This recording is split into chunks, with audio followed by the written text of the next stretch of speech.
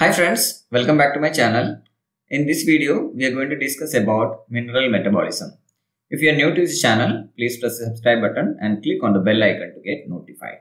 So in today's video, we will cover uh, introduction to mineral metabolism and different uh, minerals and their clinical significance and the functions in the human body. Minerals are essential nutrients that are required by the body in small amounts to perform variety of functions and to maintain good health. So these are very essential for the body to proper functioning. So they are present in a variety of foods and play important roles in maintaining health of the body. So to maintain a healthy body and for the proper functioning of the body, minerals are very essential. The mineral nutrients can be classified into two types. They are macro minerals and micro minerals. The micro minerals are also known as trace elements. So let's look at the three major uh, macro minerals. They are uh, sodium, potassium and chloride. Let's look into each one of these in detail. First one is sodium. Sodium is an essential mineral that plays a number of important roles in the body and it helps to regulate fluid balance, maintain uh, normal blood pressure and support proper nerve and muscle function. So these are the uh, major functions of sodium. The normal serum uh, sodium level is between 135 to 145 milliequivalents per liter. This is the normal range of uh, sodium present in the human body. If any change is there, it will cause problems in the body. Dietary sources for uh, sodium include table salt, animal foods, milk and some vegetables. And the recommended daily allowance or the recommended intake is 1 to 5 grams per day for a normal individual. The sodium is absorbed from a small intestine and transported through the bloodstream to the cells and tissue throughout the body. So that's how it is uh, reached into the uh, different cells and the body closely regulates the amount of sodium in the bloodstream by adjusting the amount of sodium that is excreted by the kidney. So a proper balance is required. The metabolism of uh, sodium is closely tied to the metabolism of water. When the body is low on sodium, it will retain water in an attempt to maintain normal electrolyte balance. And when the body is high on sodium, it will excrete uh, excess water to maintain the normal electrolyte balance. And it is extremely important to maintain this balance. The factors uh, that can affect uh, sodium metabolism include include the intake of uh, sodium through diet and intake of water and certain medication or medical conditions. So these are the factors that can affect the uh, so sodium metabolism. Certain uh, medical conditions or certain medication can increase or decrease the levels of sodium in the body.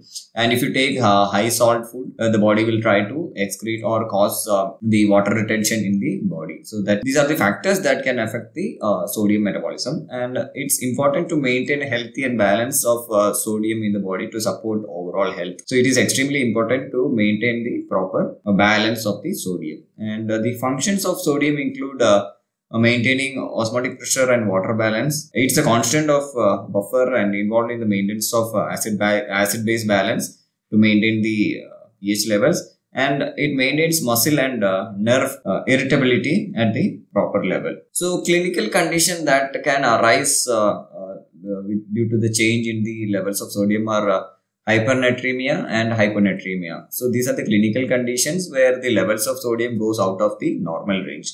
Hypernatremia is an increase in sodium, uh, serum sodium concentration above the normal range, whereas hyponatremia is a condition where the uh, there is a significant fall in the sodium concentration below the normal range. So once it uh, this level of sodium goes below the normal range, it is called hyponatremia, and the condition in which uh, where the sodium concentration goes above the normal range is called hypernatremia. Coming to the uh, next mineral that is potassium. Uh, the potassium is the main intracellular cation and the normal serum potassium level is between 3.5 to 5.5 milliequivalents per liter. Potassium helps in to regulate the heart function, maintain normal blood pressure and also support the proper functioning of the muscles.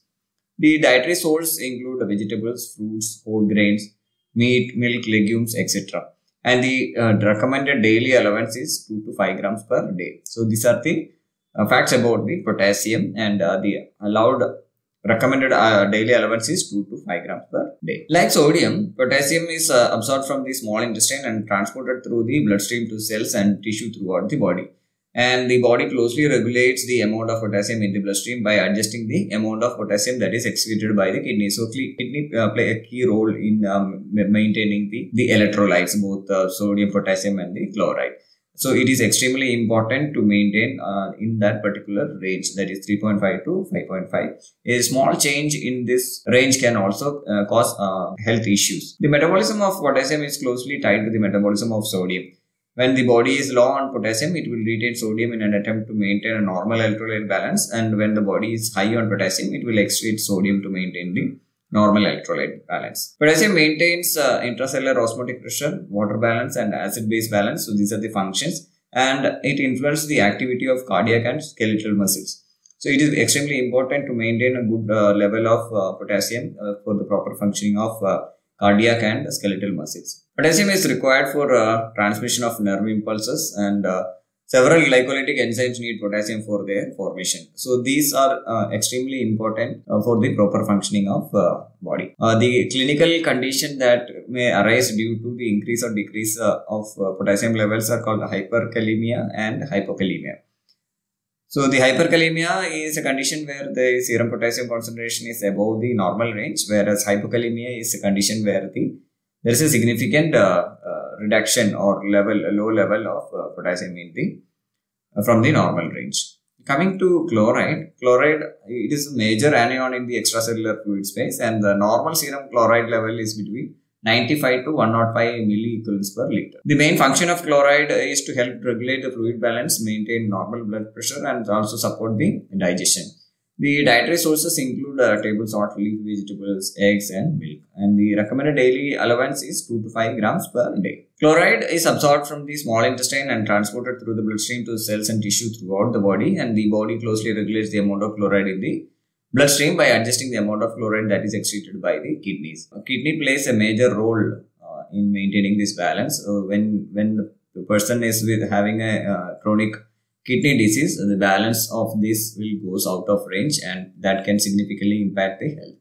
The metabolism of uh, chloride is uh, closely related to the, the metabolism of sodium and potassium. When uh, body is low on chloride, it will retain sodium in an attempt to maintain normal electrolyte balance. When the body is high on chloride, it will excrete uh, excess sodium to maintain the normal electrolyte balance. And the functions of sodium include uh, water balance, maintaining proper balance, uh, uh, water balance, regulation of osmotic pressure and acid base balance. Chloride is necessary for the formation of HCl by gastric mucosa and for uh, the activation of enzyme amylase. So that's why uh, it is helping in uh, digestion and it is also involved in the chloride shift. The clinical condition uh, uh, arises due to the change in the levels of uh, chloride or hyperchloremia and hypochloremia and these are the condition where the levels of uh, chloride goes out of the range. Hyperchloremia is uh, increase in the uh, serum chloride level from the normal range and hypochloremia is the significant fall in the chloride level from the normal range.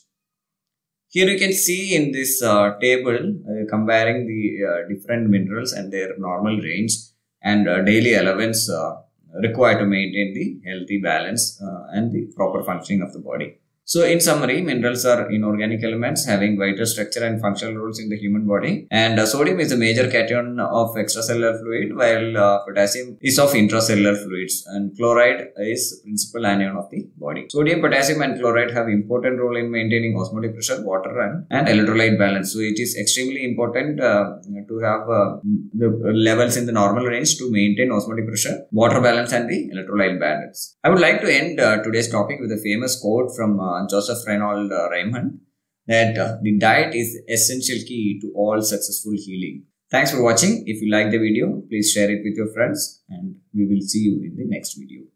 Wish you all a very happy new year.